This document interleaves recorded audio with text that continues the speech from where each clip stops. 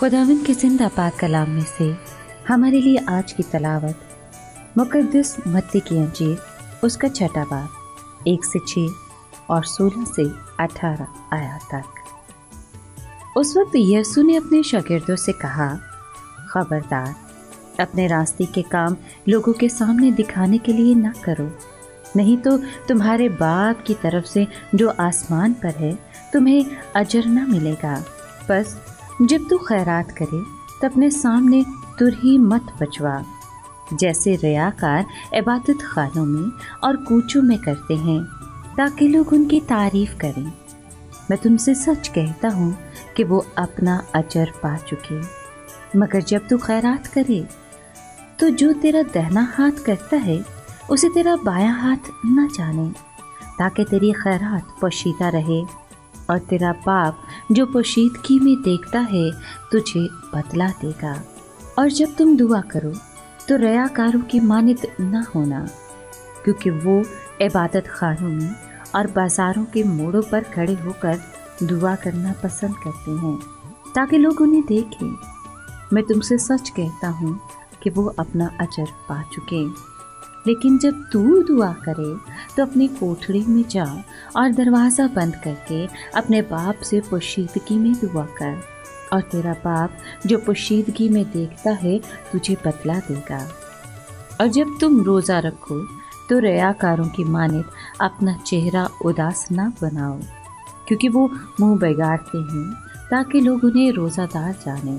میں تم سے سچ کہتا ہوں کہ وہ اپنا اجر پا چکے۔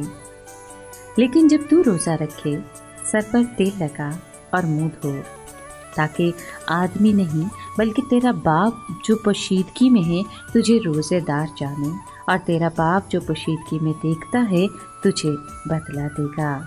پاکلام کے پڑھے اور سنے جانے پر خدا ان کی برکت ہو۔ خدا کا شکر ہو۔ سامن آج راہ کا بدھ ہے۔ راہ کا بدھ سب سے خاص دن ہے۔ راہ کا بدھ چالیس روزوں کا پہلا دن ہوتا ہے، جس میں روزے رکھے جاتے ہیں اور خدا سے دعا کی جاتی ہے۔ سامعین، بائبل مقدس میں سر میں راکھ ڈالنا یا راکھ پر بیٹھنا حلیمی اور آجسی کا نشان ہے۔ بائبل مقدس میں ایسے واقعات بیان کیے گئے ہیں کہ جن میں راکھ پر بیٹھنا اپنے گناہ کا اقرار کرنے کے مترادف ہے۔ روزوں کا آغاز راہ کے بدھ سے اسی لیے کیا جاتا ہے تاکہ انسان اپنی گناہ گار زندگی پر نظر ڈالے اور مغروری سے باہر آئے، اپنے آپ کو حلیم کرے۔ راہ کے بدھ پر ہمیں یہ دعوت دی جاتی ہے کہ ہم خدا کے ساتھ اپنے تعلقات پر غور کریں اور سوچیں کہ ہمارے اور اس کے تعلقات کیسے ہیں۔ ہم سب اس بات سے اچھی طرح باخبر ہیں کہ گناہ ہماری مرضی کے خلاف ہمیں خدا سے دور لے جاتا ہے۔ جبکہ خدا یہ چاہتا ہے کہ ہم اس کی طرف رجوع کریں، کیونکہ وہ ہمیں معاف کرنے کے لیے ہر وقت تیار ہے۔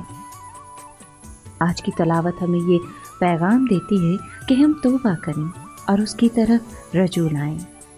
آئیں، دعا کریں کہ ہم روزوں کے ایام، دعا اور ثقافت اور رحم کے کاموں میں گزاریں اور ہمیں آزمائشوں کا سامنا کرنے اور توبہ کرنے کی خدا توفیق عطا فرمائے۔ اور ہم روزوں کے یہ تمام ایام پاکیزگی کے ساتھ گزاریں۔